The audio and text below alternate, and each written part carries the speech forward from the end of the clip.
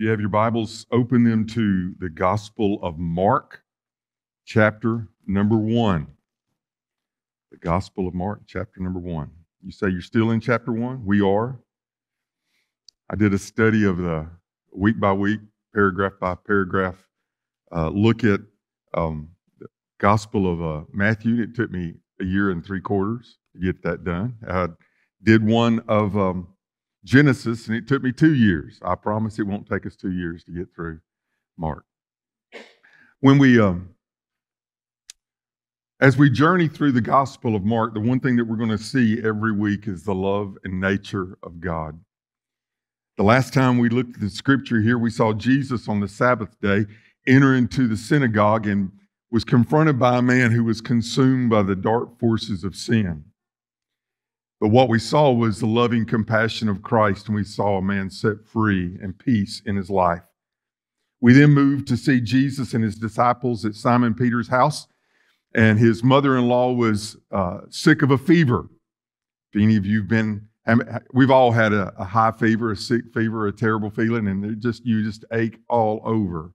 But Jesus came in, touched her hand, and the word there is immediately immediately. Now, we saw that word immediately 11 times in the first chapter, and every time it means right then, not a delay, not a wait, just right then.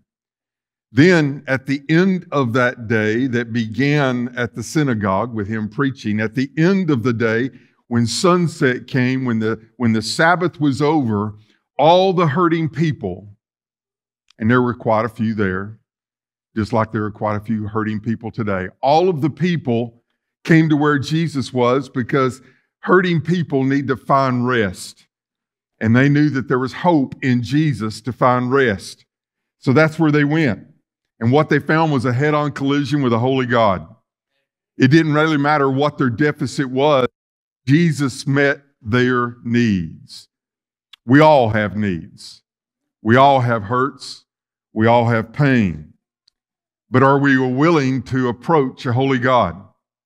Are we willing to address the desires and needs of our heart?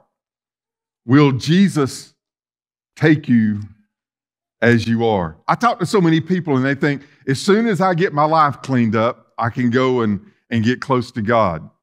Well, good luck with that. Because the only way you're going to get your life cleaned up is to find Jesus. That's way you can get your life cleaned up. Just go if you've got hurts, if you've got needs, approach a holy God.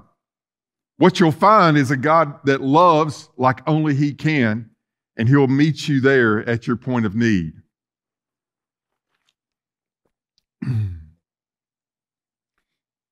we are faced with circumstances every day that are bigger than us. The first thing we need to do is just admit that we can't fix our needs on our own, even though we try and try and try and try and try but we know that we can find our need met in Christ. So, what we find here in Scripture, I thought this was cool. He went to church, met a need, went to his family, met a need. Then everyone in the whole town, it says there in verse 33 of Mark 1, the whole city was gathered together at the door, and he met their needs. Long day, hard day, difficult day, tired, weary. Y'all ever had those days? Of course you have.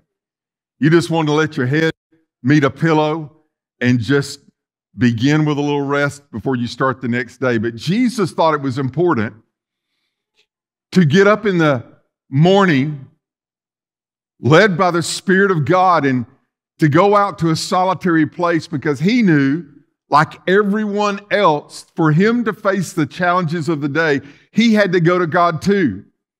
He had to find his strength there. Yes, he was the Son of God, but he was also the Son of Man. He was human like us.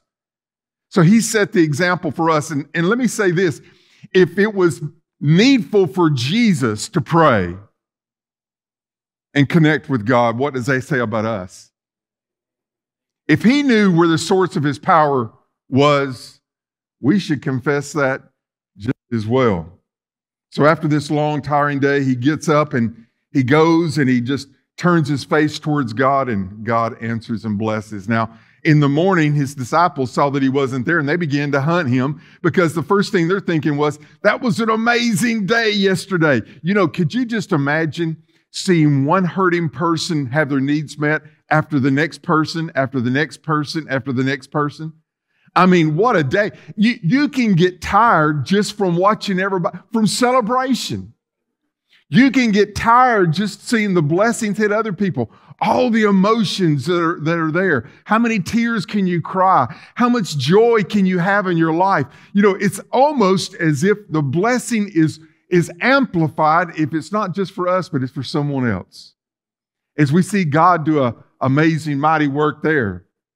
So they're saying, Come on back. We've got more work to do. There's more people to heal. But Jesus just said to them, Let us go into the next towns, verse 38, that I may preach there also, because for this purpose I have come forth. Jesus knew he had a purpose, and his job was to fulfill that purpose. Now, y'all look here.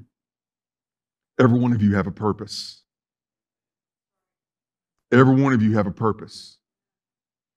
And with God, you can find the fulfillment of that purpose. If you chase it on your own, you're going to miss it. I have for years. How many times have you thought this job or that job or this relationship or that relationship? I'm very grateful that God let me find the right purpose, the right wife, the, the, the right vocation that is not a vocation, it's a ministry. I'm grateful that God is able to do exceedingly abundantly above whatever we would want to ask Him or even to think He's able to do so much beyond that. I love that verse. That's the kind of God we have.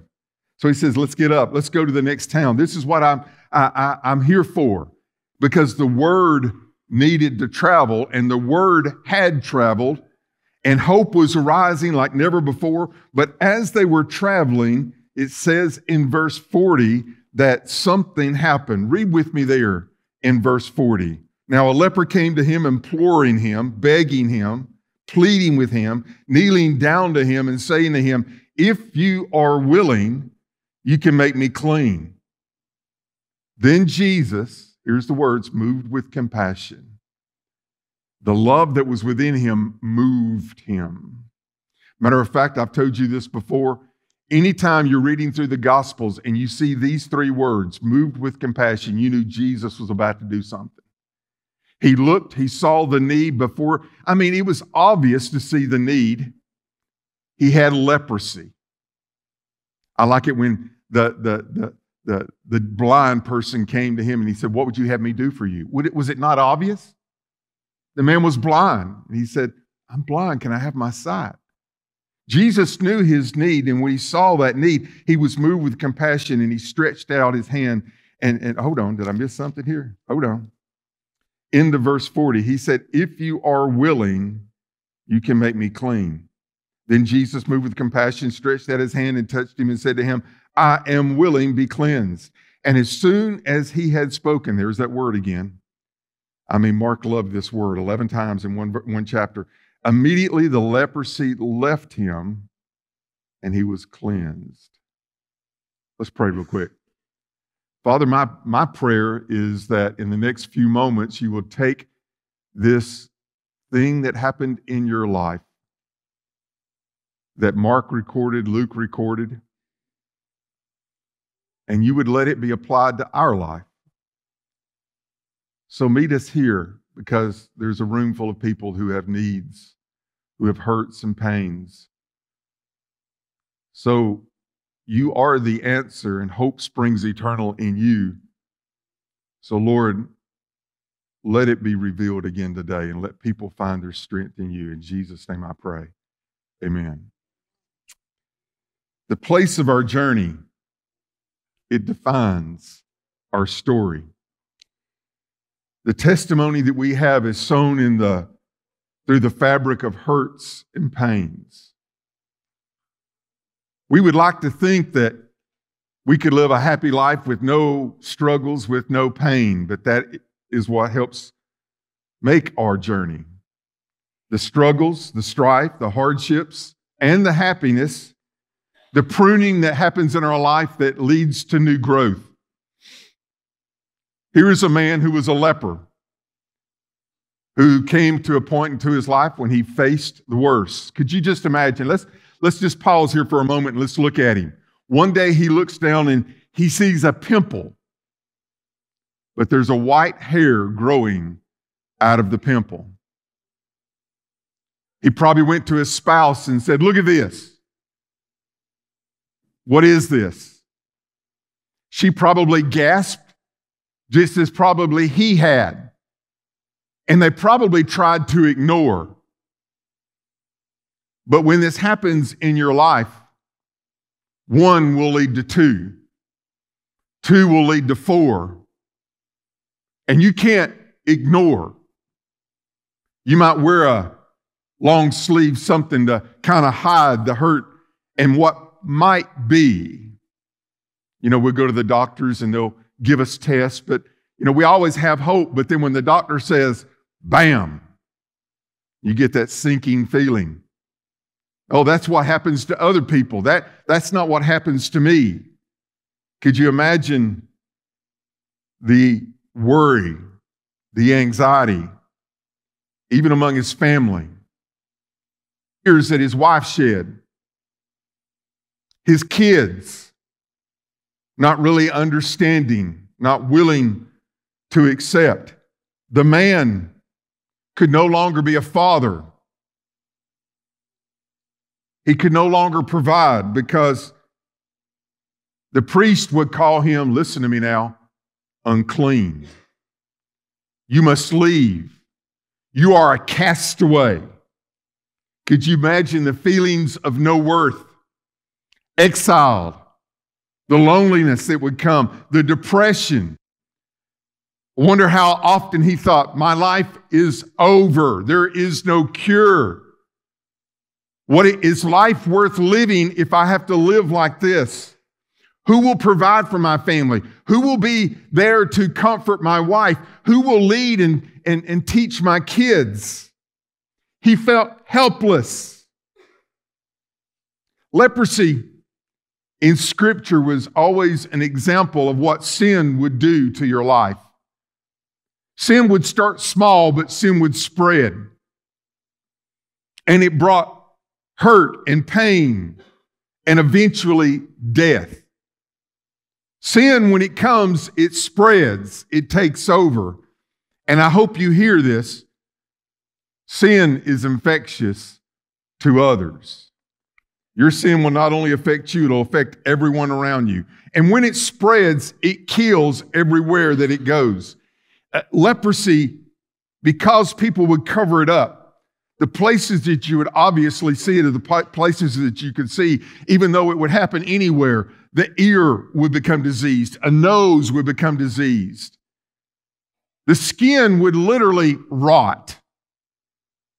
A person could have an ear that would fall off and they not even know it. Because the worst part of leprosy was not simply the disease to the skin. That wasn't the worst part. The worst part of leprosy is there is no pain. If you cut off my ear, Brother Mark, I would hit no, notes in the choir that, that no one's ever heard. Dogs would never heard, heard such a squeal. If I cut off a finger, it would hurt.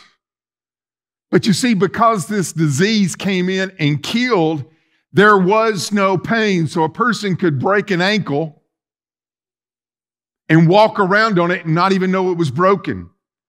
They could be cut and not even know that they were bleeding. I haven't quite finished a book yet called Leadership Pain. I thought it was kind of unique how God gave me that book when, when I was going to face this, but there was a person who had a child who had leprosy who literally bit off the end of her finger and was drawing with the blood. And it got to the place where, you know, obviously they, they, the parents saw what was going on and they mended it and all that. But it, it got to the place where the, the child liked it and was biting off all of their fingers because they liked to draw with their blood because they didn't feel the pain. Pain is our friend. Pain is our friend. If you touch a hot iron, you know what I'm going to do? I'm going to turn loose of it. Y'all know what I mean when I say quickly? I might even do a little bit of a dance. Amen. I'll think only holy thoughts.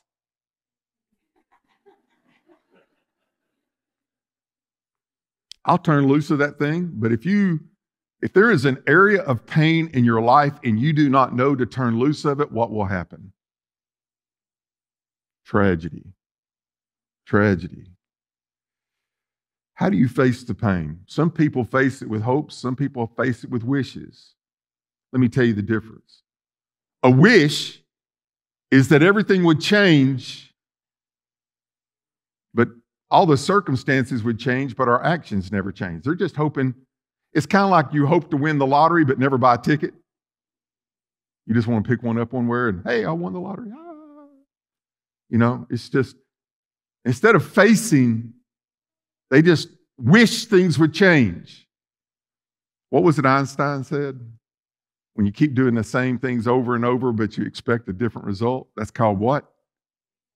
Say it good and loud. Insanity. That's what a wish is. But a hope is different. A hope is a, a change agent. Something's going to happen in your life, and my hope is in Christ.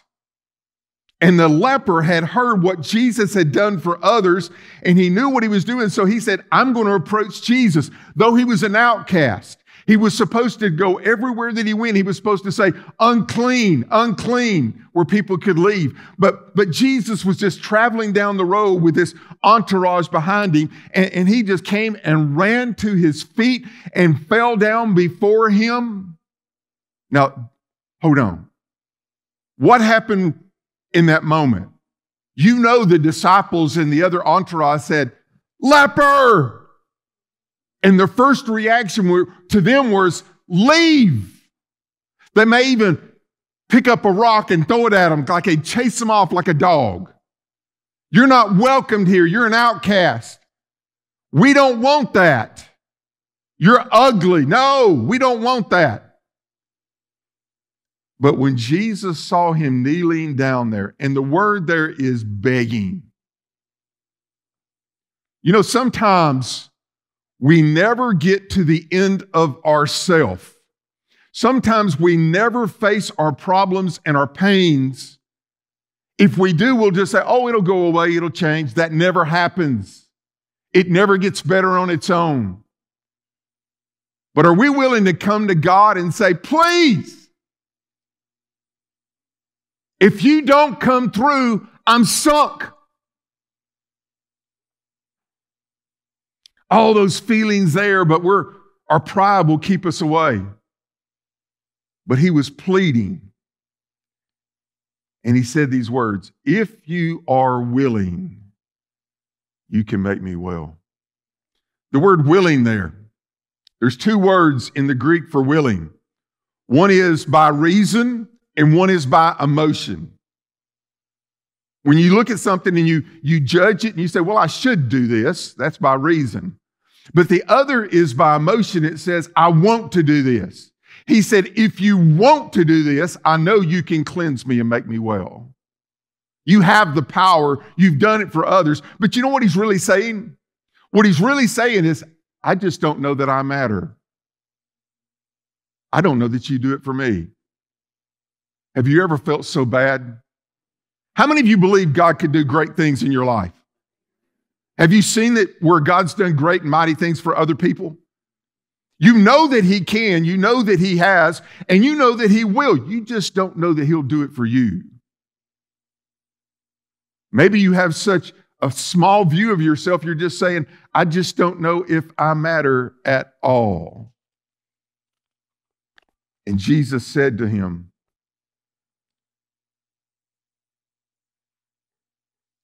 I am willing by motion, by desire, be clean. Now, hold on.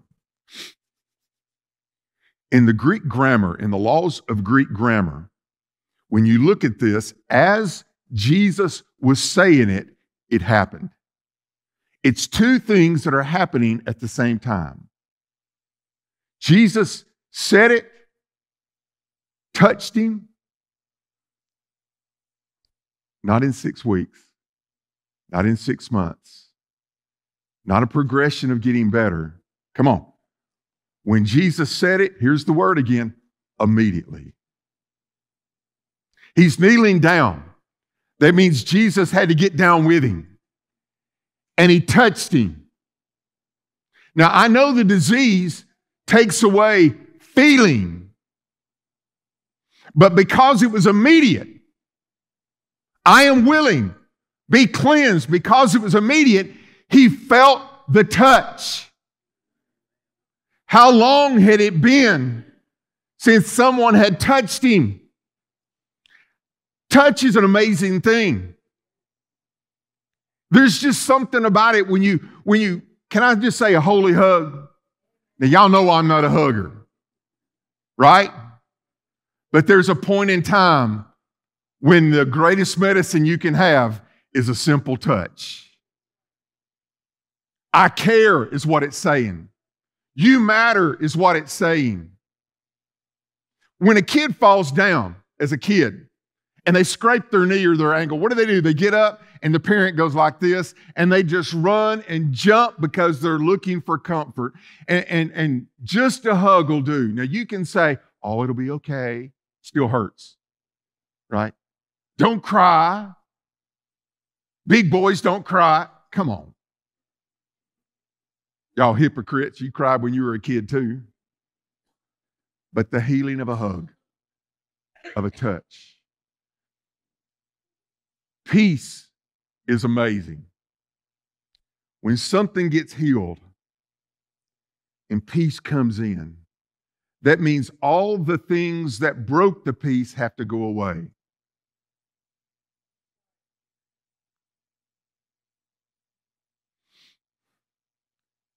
I love saying this. I want a touch from Jesus that goes from the top of my head to the bottom of my feet and touches every fiber in between. Not because I'm great, not because I haven't made mistakes, not because I hadn't stumped my toe a thousand times, not because I hadn't done all the things wrong, just because a holy God and He'll let me and say, we'll come together and we'll be one in peace. From the time he saw the first pimple with the hair in it he never had peace until this moment because Jesus was his hope, his change agent. And his life, come on, was never the same again. Well, I wonder what it looked like to all those that were around. The disciples that were ready to throw rocks screaming at him, yelling unclean. Because this happened immediately, they saw a leper fall to his knees at Jesus' feet, but they saw Jesus heal him and he was raised up clean. I don't think he had a pimple. I don't think he had a mole. I don't think he had a hair out of place. Come on.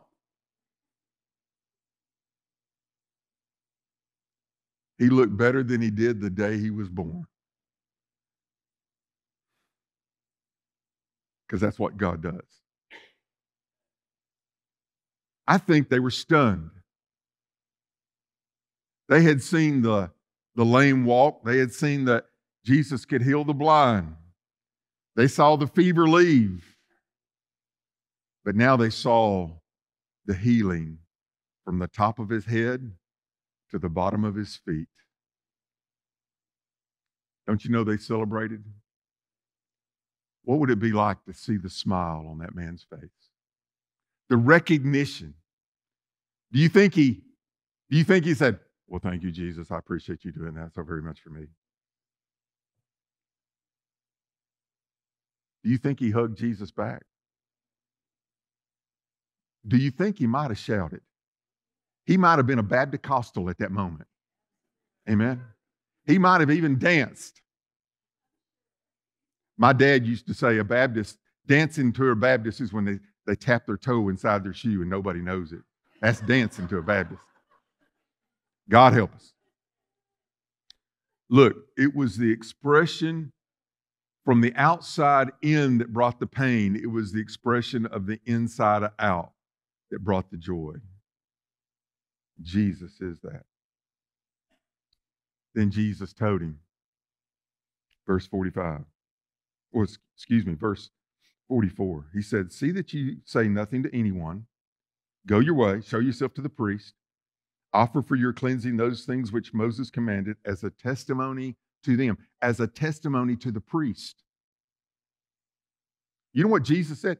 You don't need to tell everybody else, man, I, I got people coming after me from every angle. No, no, no, no. What you need to do, the law, Leviticus 14 says you're supposed to go to show yourself to the priest, the one who had been proven an outcast and thrown out. You have to show that you are healed. Then you take two birds. One will be sacrificed, and they'll take the blood of that bird and it will be caught in water. And they'll take the other bird and they'll put oil on it, showing the healing. And they'll take the, the, the water with the blood mixed in it and, and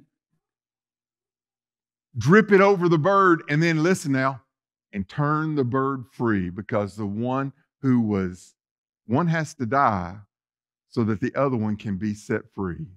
Is that not the most beautiful picture of salvation? Jesus died, and the blood could be, by the healing of the Holy Spirit, the healing of the, of the oil with the blood of Jesus Christ, cleanses us from all of our sins, and we are set free. Once like a bird in prison I dwelt, no freedom from the sorrow I felt. But Jesus came and he said to me, and glory to God, I got one that knows it. Y'all don't y'all never heard he set me free? I'm not going to sing it for you. My boy can sing a whole lot better than I can. Praise God. Jesus can set us free. We got a choice. This man could have stayed with the lepers as a cast out, dying from the outside in. Or he could have felt the pain of his sin and his need of healing. And we can run to God. There's a lot of things that will keep us from God. There's a lot of things that we just think that we can put up with and we can live with. Why? When we have a God who can change, there's nothing our God can't do. There's nothing I, there's nothing that our God is not willing to do. Isn't it beautiful to see the person who is so covered up by the pain be released? That can be you. We talked about unforgiveness in Sunday school. Hebrews 12. It can become a root of bitterness. That as it grows, it will defile be careful of the brokenness. Be careful of the things that keep us down when Christ wants to lift us up.